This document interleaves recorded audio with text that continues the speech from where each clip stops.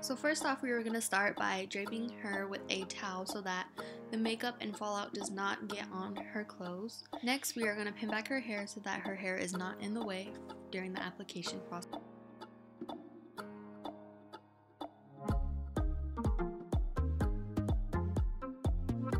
To start off, I am going to cleanse her face with the number 7 makeup remover wipes so that we can start with a clean slate.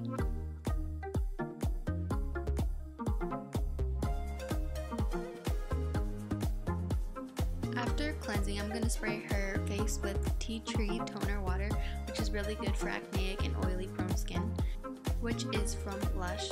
After toning, I am spraying Vitamin Hydrating Mist from First Aid Beauty, which is good for moisturizing. After prepping, I am applying Beautifully Matte Makeup Base, which is primer from number 7, to help give her a matte base for her foundation. For foundation, I am using Dermablend Professional Smooth Liquid Camo Medium Coverage Foundation, which has SPF 25 and it is in the color, I believe this is pronounced sepia. And I am just blending that all in with a beauty blender.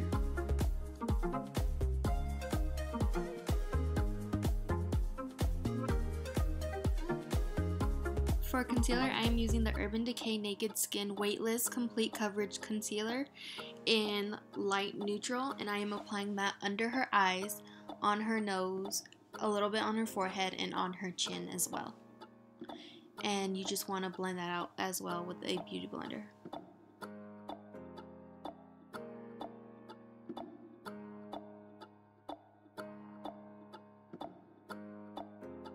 Once your concealer is fully blended in, I'm going to go ahead and take the Airspun Loose Powder Translucent Extra Coverage and apply it under her eye so that she does not crease and on her T-zone area because she does get oily.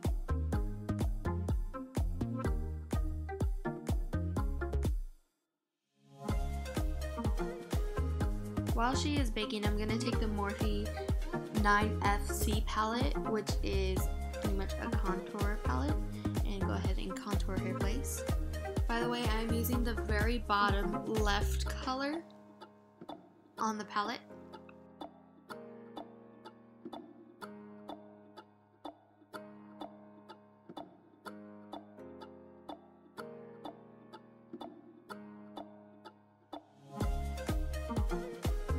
Now I'm just brushing off the excess powder.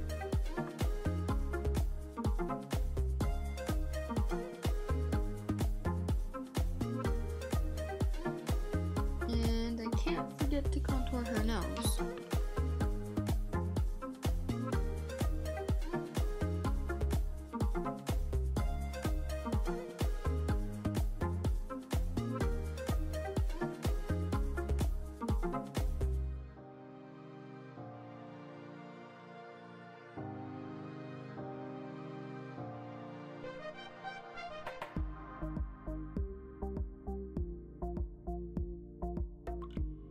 Now I'm using MAC Medium Deep Bronzer to go ahead and bronze up her face.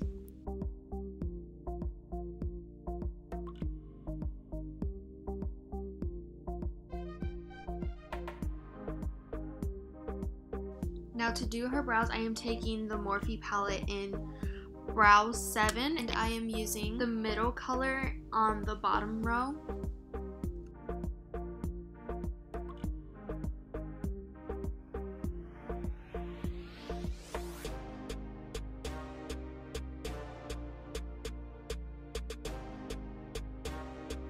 Now I am just using a spoolie to go ahead and brush out her brows so that they are not too intense.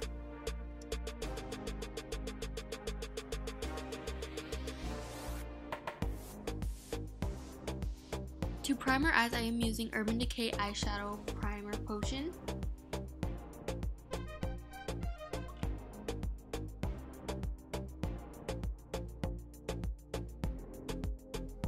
Once her eyes are primed, I am using the Urban Decay Naked 1 palette, and the first color I am using is Naked. I just went ahead and applied that all over her eyelid.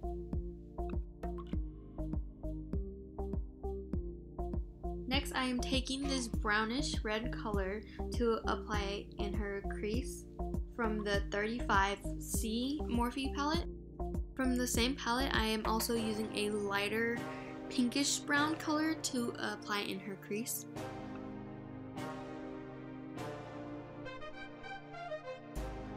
Now to give her eyes more definition, I am taking a darker brown and applying that to her outer area of her eye and just bringing that in towards her crease.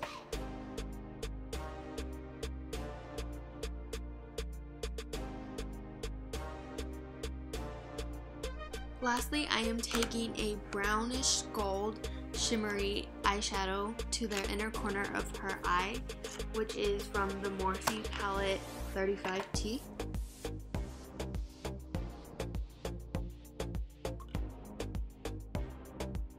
Just kidding, that wasn't the last step. Now I am taking the darker shadow I put in the crease area and putting it under her eyes. Now onto mascara, I am using her Rocket Volume Express from Maybelline.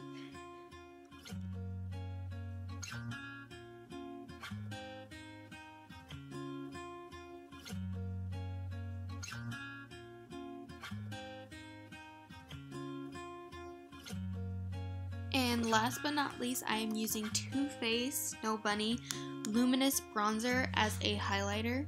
And I'm just applying that above her cheeks, on her nose, and on her cupid's bow. For the lips, I am using the BH Cosmetics lipstick palette, and I am using this very nude brownish color. And to set her face, I am using the Urban Decay De-Slick Makeup Setting Spray.